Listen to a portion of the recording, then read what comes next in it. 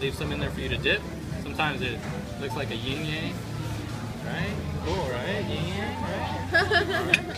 Take my piece and eat it in the back. No, I'm just kidding. and you get to enjoy, okay? Okay, thank you.